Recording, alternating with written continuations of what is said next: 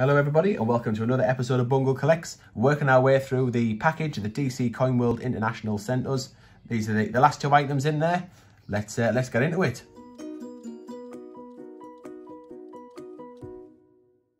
Right, so we're going to go through this little bunch here. I'm going to leave it for Lady M to do the pronunciation because I cannot uh, I cannot pronounce what it actually says. So Lady M, what did DC Coin World say about this little package? So it said it's some Irish large penny in the pigeon, hens and chicks, chick coins wrapped in connoisseurs Hibernian Enterprises torn cover sheet from the collector's book.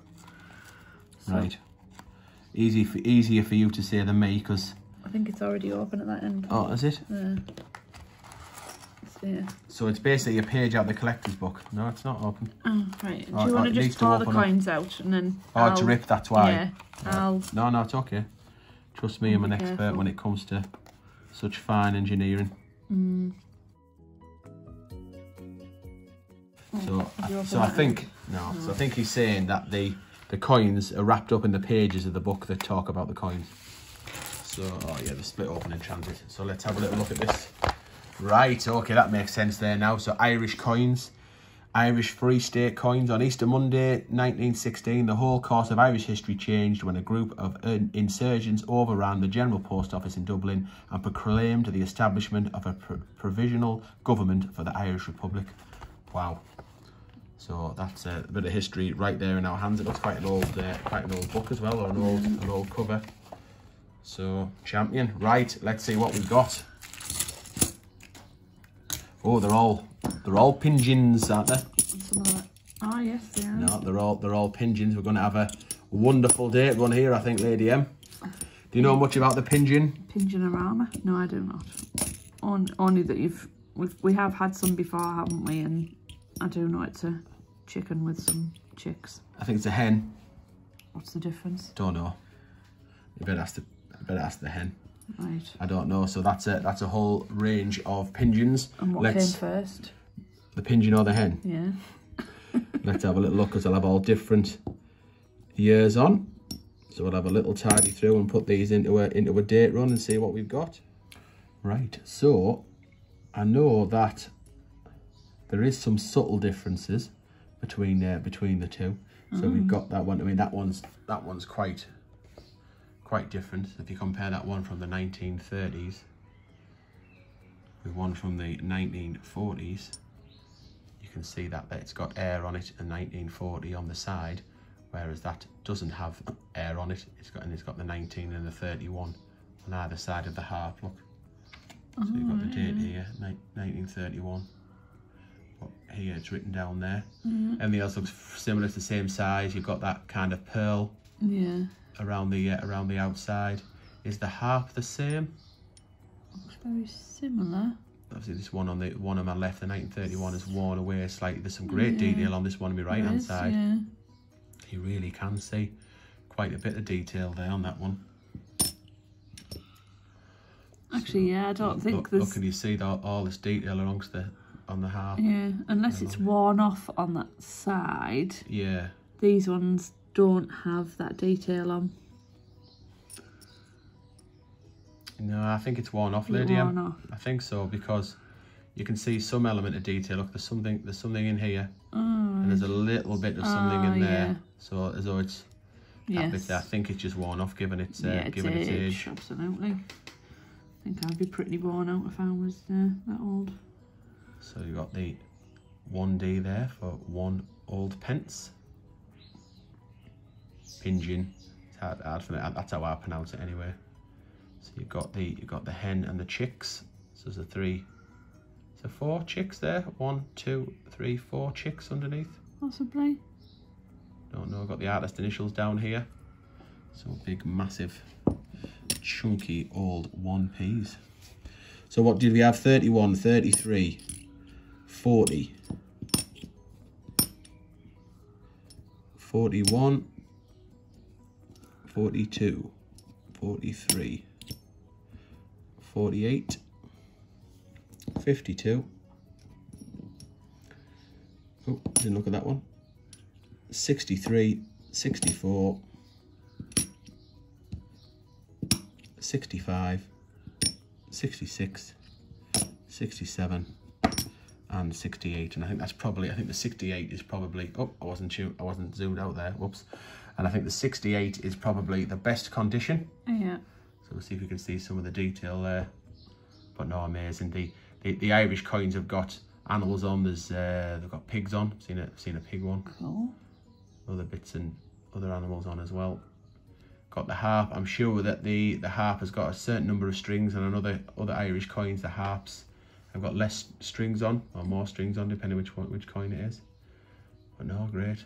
Looks like the Guinness harp, doesn't it? So it's It does. synonymous with uh, synon synonymous with uh, with uh, with Ireland, the Republic of Ireland. Amazing. So yeah, look at that little da little date run of pigeons, and uh, a bit of history in a in the page of a book. Right, let's have a look. The uh, those those Irish ones that went over to America. There's a little bit of a link here, so we've got a little coin roll here of uh, of quarters.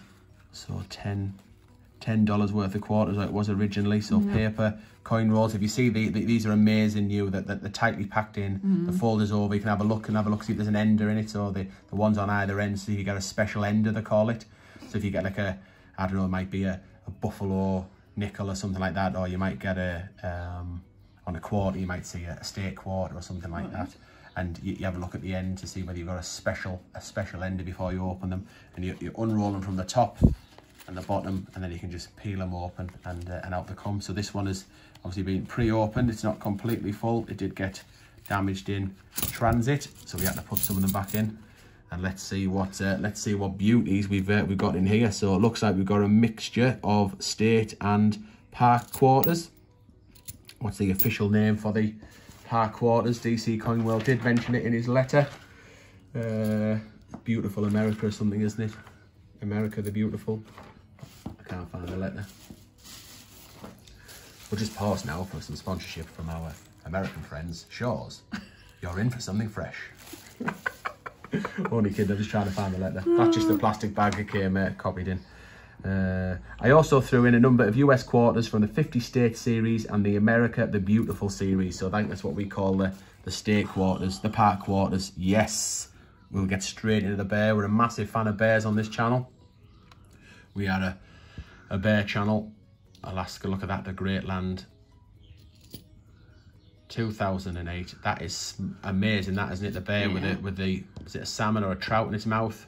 That'll be a salmon, I reckon. Philadelphia mint there, the P mint mark. That is already going to be the plum fine lady M. I love that coin. That is absolutely amazing. Oh, you've took its space. Well, I was just. I don't think they're in any particular order. Well, put we'll put them into state and park quarters because Okay, the, the, park quarters have got that kind of ring around the outside, whereas the the, the Ah, state right. the state ones haven't. Okay. So put the state ones Oh, there. what about that one? That's a bit of a. No, that's Texas. That's That's just a. uh, definitely a state quarter.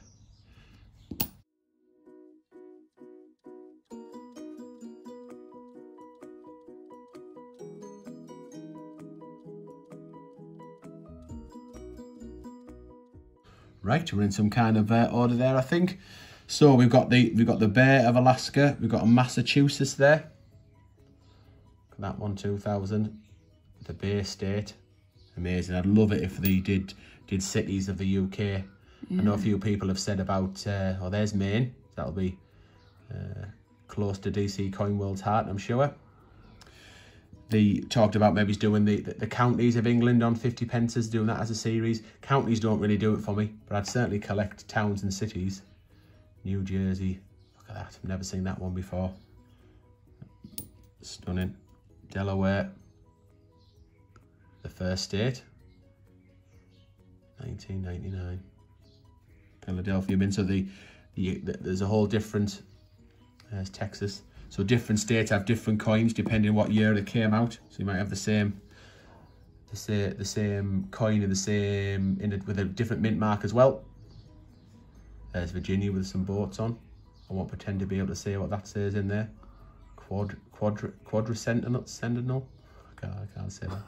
That must be 400 years. If bicentennial is 200 years, quad centennial, centennial must be 400 years. 400 years of Jamestown, 100 years of Virginia, maybe. No, don't know. Maryland. Oops. Maryland. We should do a bungle collect on tour, lady, and but across America, going to every single state. So we've done, by the time this video uploads, our um, bungle collects on tour for the A to Z adventures will be, will be up. And it'll be well in where we've gone to every every letter on the alphabet 10p around the country. How cool would it be to do a, a, an was that? American? That, was Tennessee. Tennessee. How cool would it be to do an American state? One go to every American state and find where the uh, or find something relevant to these states. Can get into that one. That is Utah. Utah, yeah, that would be phenomenal, wouldn't it? You've done that one. Have I done New Jersey? Yeah. You said you've never seen that one before. All right, I've definitely seen it now. I'm doing them in order. Oklahoma. Bird on there for you like that, do you? yeah, I do. Look at that Montana there. Grr. Yeah. Big sky country. Amazing. Stunning. To say, I wish we had them on our, maybe on our 20 pences. That would be cool, wouldn't Yeah, it? it would. have something else to look for. So these are the, the park quarters at America the Beautiful. There's Theodore Roosevelt. So hopefully I didn't make a faux pas in the last uh, in the last video. What's that from? Where's that one from? Oh, I can't. Uh, uh, North Dakota, I think. Right. Missouri. So they're the states, but I, I'm not going to be able to pronounce the the other the other stuff on there. So I was just trying to gloss over that, lady, Ann, but you've you've you Oh, basically sh okay. uh, shamed me now. People now know that I can't pronounce anything. Mind you, they probably knew that already. So that last one was Ozark Riverways. That one is Kisatchie. We've had some of these before, haven't we? These coins, I recognise these these That was park quarters. Blue Ridge Parkway. We uh, we did we actually did a, a White bungle. Mountain. We actually did a bungle collects from from Las Vegas, didn't we? We did. What's that say? Where we went through uh, Harper's Ferry. What does that say? in West Virginia. Yeah, we actually did a. We, we went to Las Vegas and we did a bungle collects from our hotel room there. It's had about do that one? 68 views. Uh, not sure. Don't think so. Had about 68 views in total. It was up, it's been up well over a year. No one, no one was interested in our quarters. Hopefully they'll be interested in. Uh, hopefully they'll be interested in, in this one because it's where it's coming. It's part of that little mini series from from DC Coin World. I've got to thank DC Coin World. I think it's been absolute an amazing. Uh, it's been an honour really to go through the, the, the coins that you've sent us, and it's been nice getting to know you. And I'm sorry our parcel took so long to get to you. It took I think it was 28 days, I think, getting on for a month to get across the pond. So glad that it got there in the end.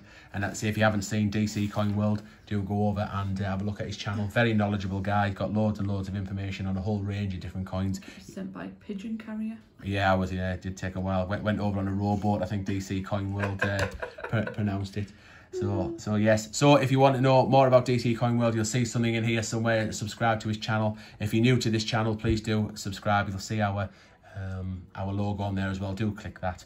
And uh, thanks very much for watching. It's been a great series, and we'll see you in the next episode.